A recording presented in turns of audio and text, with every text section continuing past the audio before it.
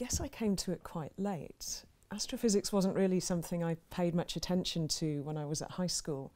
I was certainly interested in physics, I was certainly interested in music, I certainly loved maths, so I think I had a little bit of a leaning towards scientific things.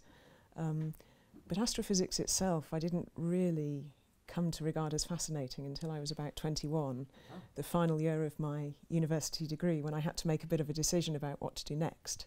And I suddenly realised that astrophysics encompassed a lot of the courses that I'd enjoyed in my degree course, for example, relativity, plasma physics, electrodynamics, all that kind of good stuff. So that's really when the uh, changing tack came about. So at school you weren't really exposed to it or it just didn't interest you?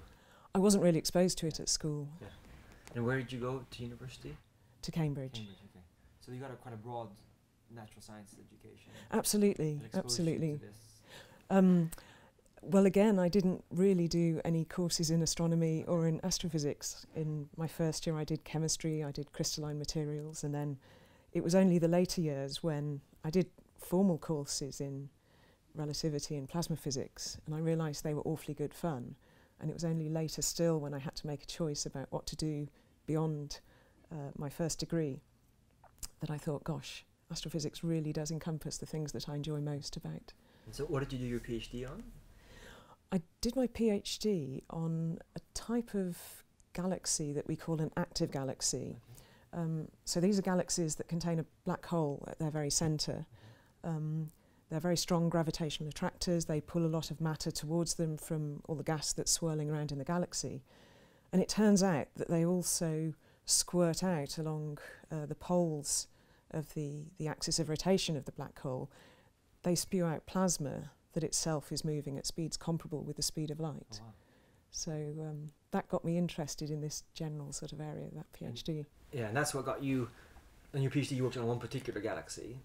Uh, no, a bunch of them, bunch of but them, okay. a particular type of type galaxy. galaxy. Yeah. And these are, how many galaxies are there?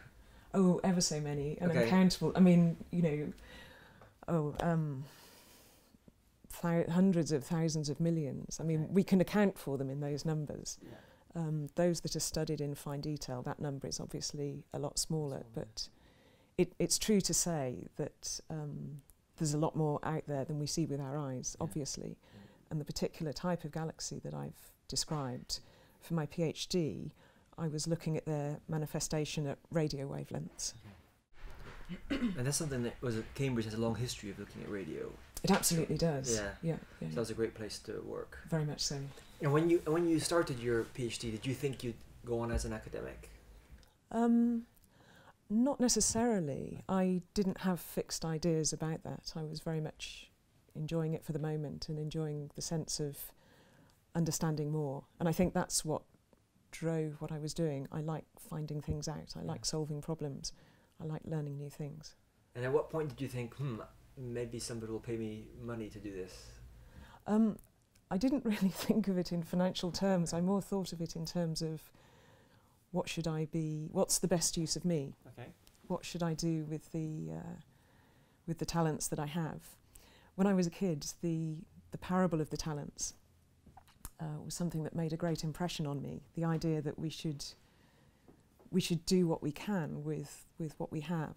Um, so if we're good at maths or we're good at engineering or whatever, we should we should be good at doing those things. Yeah. So this is a kind of part of your Christian background helps influence you to go on in science. It sounds like that really steered the general principles of the decision, yeah. I suppose. But the it would be wrong to give the impression that it was anything other than good fun and the satisfaction of discovery and problem solving yeah. that was driving the detailed decisions. Yeah, yeah. yeah.